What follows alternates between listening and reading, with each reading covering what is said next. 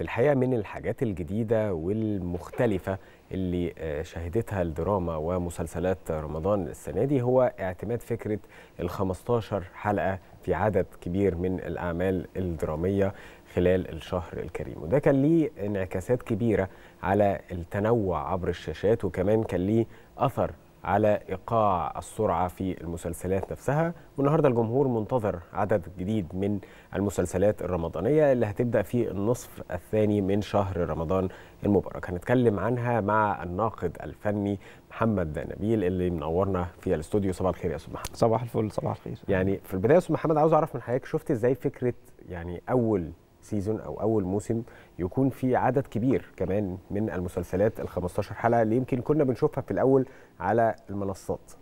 صحيح. النهارده بقينا نشوفها على الشاشة على التلفزيون. فشايف الأول الأمر ده مستصاغ عند الناس ولا لأ؟ أو عكس حالة كبيرة من التنوع؟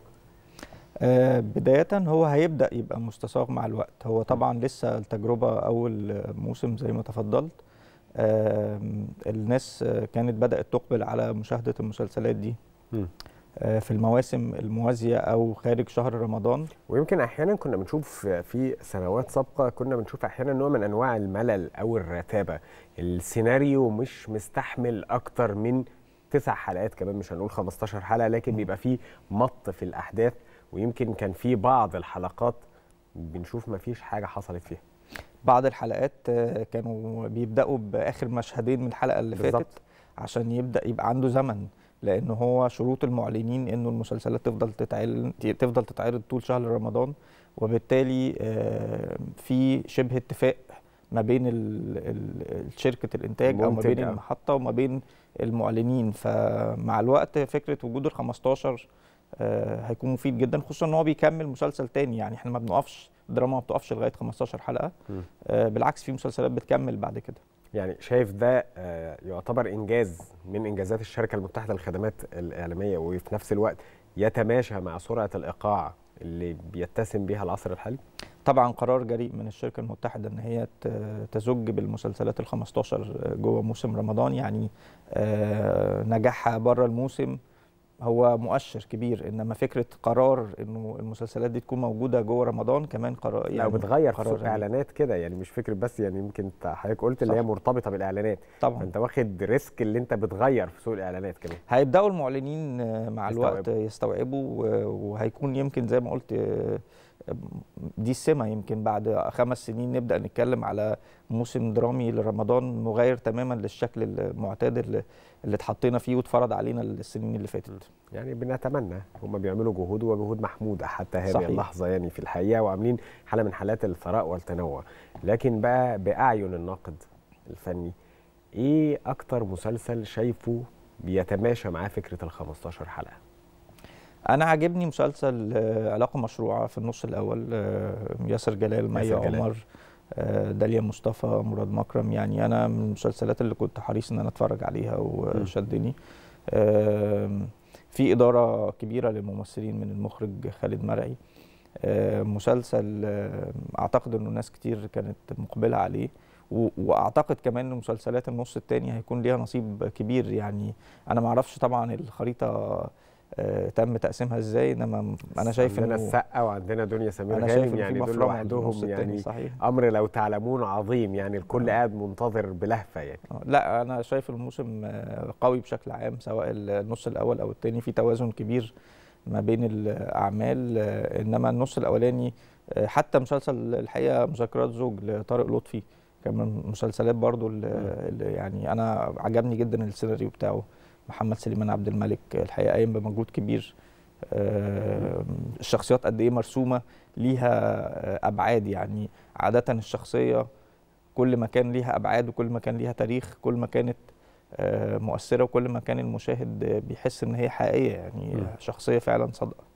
يعني يمكن حضرتك اتكلمت على طارق لطفي واتكلمت على الفنان العظيم طبعا ياسر جلال وهم في الحقيقة عاملين نقلة يمكن مختلفة السنة دي تحديدا. شايف النقلة دي إزاي في مسلسل مذكرات زوج وفي علاقة مشروعة الاثنين جايين من مسلسلات آه، كبيرة آه، عام- عاملين نجاحات آه، لافتة جدا السنة اللي فاتت سواء طارق لطفي في جزيرة دمام واحد من أفضل المسلسلات اللي اتعرضت ال- الموسم الماضي ويمكن كان موجود في أغلب الاستفتاءات بشكل كبير سواء على مستوى الكتابة سواء على مستوى التمثيل الإخراج يعني أكتر من عنصر كان مميز جدا فعامل نقلة في مسلسل اجتماعي. خالص. وطبعا ياسر جلال آه، آه، جاي من الاختيار ثلاثة برضو دور مختلف تماما عن الشخصية اللي يعني بيأديها السنة دور متصوف ليه؟ يعني فكرة التصوف ومسلسل كان كله حالة من حالات التصوف ليه علاقات آه، مشروعة أو آه، عفوا مذكرات زوج. وشفنا من عمل عظيم وتجسيد شخصية السيد الرئيس عبد الفتاح السيسي لمسلسل آخر وسكة درامية مختلفة تماما. ده بيأكد إن إحنا عندنا فنان بيمتلك قماشة واسعة في التمثيل؟ طبعا الاثنين ممثلين كبار يعني ما كانوش نجحوا النجاح الكبير ده وما كانوش آه، استمروا على مدى السنين إن هم يكونوا أبطال. آه، مش أي ممثل موهوب في الآخر يصلح إن هو يكون آه، بحجم عمل يعني تصدر الأفيش وفكرة إنه العمل يتسوق باسم النجم ده ده ليه آه، أبعاد كتير. يعني مش آه، مش أي ممثل موهوب يعني في ممثلين كتير موهوبين إنما مش نجوم. النجومية مقياس تاني ومعايير تانية. تابعت مسلسل الكتيبة 101 تابعته آه بتفرج لسه بتفرج مم. عليه. آه مسلسل آه، رأيك أنا إيه ما بعتبر في أداء الفنان والمخرج عمر زهران؟ آه، طبعا طبعا الأستاذ عمر عامل مجهود كبير بس أنا يعني من كتر ما المسلسل مكمل مسلسل طبعا 20 حلقة. آه، مش قادر أعتبره قوي مسلسل نص أول يعني هو لسه مستمر معانا يعني الفنان يوم 20. والمخرج وأستاذنا عمر زهران يعني موجود معانا على التليفون فنروح.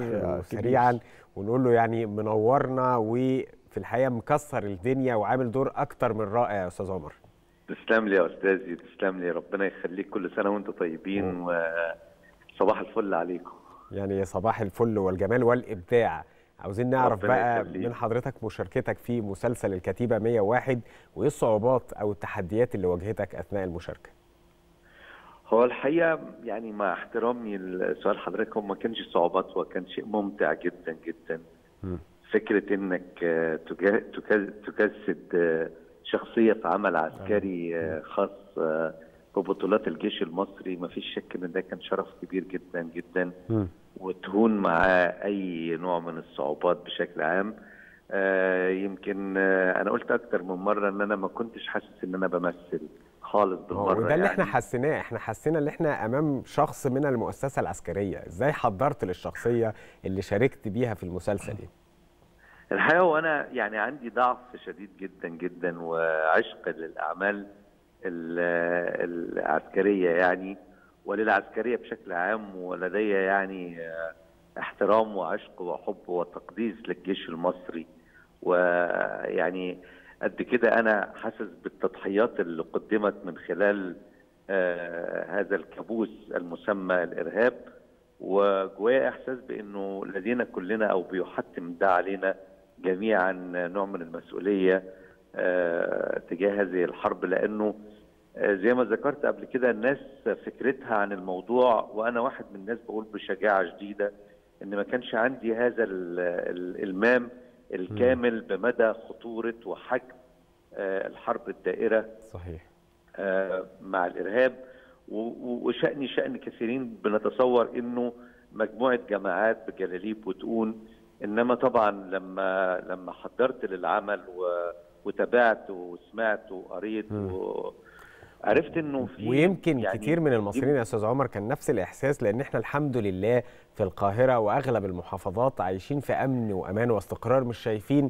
م- خلاص بقى الحرب اللي كانت دايرة في سيناء لأن الحمد لله استطعنا إن إحنا ننهي هذا الإرهاب. لكن سريعا جدا كده عاوز أعرف من حضرتك مشاركتك الوطنية الأولى في عمل وطني آه، عسكري بنتكلم على فيلم الممر والمشاركة الثانية في الكتيبة 101 شايف إزاي آه، أهمية الأعمال آه، الوطنية الدرامية تحديدا اللي بتعرض كمان في رمضان ومن إنتاج الشركة المتحدة؟ هي لها أهمية كبيرة جدا. أنا لمستها من خلال رسائل ومتابعة واهتمام الشباب بالتحديد والولاد الصغيرين. يعني اكتشفت إنه الولاد الصغيرين عندهم شغف شديد للغاية بمتابعة هذه الأعمال ودي كانت مفاجأة كبيرة بالنسبة لي. آه، فأنا شايف إنها يعني بتخلق وعي شديد لدى الشباب ولدى الولاد الأطفال اللي إحنا هنسيب لهم البلد بكرة. صحيح. يعني آه يعني مهم جدا جدا كمان. أنا كنت طالبت الحقيقة وما زلت بطالب وبدعو بعمل مونتاج لهذه المقاطع لمقاطع العمل كله يبقى مقاطع فيديو يتم عرضه في حصص مشاهدة للولاد في المدارس. والولاد لازم تتعلم من دلوقتي. هو إيه الإرهاب ده؟ دي نعم ودول يعني تجور على على الجيش المصري. يعني في الحقيقة يا أستاذ عمر أنا هكون طماع ومش عاوز بس بقى مكالمة تليفونية أنا عاوز حضرتك تشرفنا وتكون ضيف معانا في صباح الخير يا مصر عشان نتكلم على الدراما الرمضانية ونتكلم على مشاركة حضرتك المتميزة فيها سواء كانت الكتيبة 101 أو أيضا كمان سره الباتع. لكن على أي حال لحين تحقيق هذا يعني الحلم بالنسبة لي إن حضرتك تكون معانا ضيف يعني ده ده الشرف لينا طبعا وبيتك الأول ماسبيرو طبعا يعني. طبعا طبعا وما زال بيتي وما زال أكيد بيتي طبعا. وحضرتك استاذنا يعني كل حاجة. بنشكرك المخرج والفنان عمر زهران. شكرا لوجودك معنا في صباح الخير يا مصر. وأرجع ليك يا محمد مرة تانية سريعا كده. عاوز أعرف منك يمكن بنتكلم على الأعمال الدرامية اللي مدتها 15 حلقة. وقلنا إن في خطوة جديدة بتخطوها الشركة المتحدة وبتغير المفاهيم اللي موجودة. إيه الأعمال اللي أنت بتراهن عليها؟ وهل شايف في نوع من أنواع التوازن اللي كانت موجودة سواء كان في النصف الأول من رمضان ال 15 يوم الأوائل ومسلسلاتها والنصف الثاني ولا النصف الثاني واخد جرعة أتقل شوية يعني بنجوم أكبر طبعا الكتيبة 101 زي ما ما قلت هو أنا من كتر ما هو 20 حلقة فأنا مش حاسبه قوي 15 إنما هو في الآخر يعتبر مسلسل من مسلسلات النص الأول مسلسل مش بس تميزه زي ما أستاذ عمر بيتكلم على الجانب. الوطني آه وقد إيه تصديره للجيل الاصغر مفيد ومهم. انما كمان أنا عاجبني الخط الانساني اللي في المسلسل اللي هو فيما وراء هؤلاء الأبطال, الأبطال. في بيوتهم وفي تعاملاتهم الحياتية. مهم إن الناس تشوف الجانب ده آه وتقدره لأن هو مش حياة بيشكل صلبه على طول. إحنا بنشوفها حياة عسكرية جامدة. لا هم عندهم نوع من أنواع الفلكسبيليتي أو المرونة بالزبط. اللي موجودة يعني. ده حقيقي. آه فيما يتعلق بالنص الثاني طبعا ثلاث مسلسلات منتظرين جدا. لأسباب مختلفة مسلسل حرب يمكن اللي هيكمل آخر 10 أيام بعد انتهاء الكتيبة 101 مسلسل مربك جدا بطله أحمد السقا بيقوم بدور إرهابي وهو جاي من مسلسل الاختيار ثلاثة فأنا مش عارف برضو تقبل الناس النقلة. لأحمد السقا. شايفه ده يعني طبعا. تحدي جديد هو عامله لنفسه؟ تحدي أو جديد مخاطرة. ومخاطره طبعا يعني يرتقي للمخاطرة لأنه عشان البطل بمواصفات السقا يجازف إنه يحط نفسه في شخصية في الأغلب مكروهة و... وناس كتير يعني مش هتتعاطف معاها على كل صحيح. المستويات فدي مخاطرة كبيرة حتى كمان باقي الكرو سواء هاني سرحان المؤلف أحمد نادر جلال مخرج يعني م. معاهم أكتر من عنصر مميز ومثير للاهتمام في المسلسل. بنتكلم على منى زكي غابت يمكن السنة اللي فاتت عن دراما رمضان. منى جاية برضو من مسلسل كبير. لعبة, لعبة نيوتن, نيوتن 2021 مسلسل يعني شد قطاع كبير جدا من المصريين وكان بيناقش قضية حقيقية. نعم وكان بيناقش قضية حقيقية كان بيناقش. قضية حقيقية موجودة والمسلسل على فكرة الجديد بتاعها من أول حتى طرح البوستر وهو عليه بعض الجدل إنما أنا شايف إنه واحد من الأعمال اللي هيكون ليها شأن كبير في رمضان مش بس على المستوى الفني إنما كمان على المستوى فيما وراء الحكاية نفسها م. فكرة السيدة اللي جوزها توفى وبالتالي هي بتعول أبنائها وبتخوض بقى غمار الحياة بشكل يعني قاسي شوية وهنشوف تصاعد كبير في المسلسل وعندنا دنيا سمير غانم. يعني النجمه اللي أنا أقول لحضرتك عند دنيا سمير غانم اللي أنا بشكل قاسي اللي إحنا لازم نختم عشان في الكنترول. يعني خلاص بقى وقتنا طبعا. ومسلسلات رمضان اللي ما بعد البرنامج بس سريعا في أقل من 20 ثانية. كنت بتتكلم على دنيا دنيا دنيا جاية طبعا يعني غايبة سنتين عن دراما رمضان أو ثلاث سنين وبالتالي وجودها السنة دي هيكون مهم وأنا شايف إن المسلسل هيكون عليه إقبال كبير برضه. أكيد. يعني على أي حال لا ننتظر أو لا يبقى سوى الانتظار ونشوف الأعمال الدرامية اللي في النصف الثاني هتبقى عاملة إزاي ونقعد برضو مع حضرتك ونفندها كده. ونحللها في وقت هيكون أكبر إن شاء الله بنشكرك الناقد الفني محمد نبيل شكرا لوجودك معانا في. صباح. الخير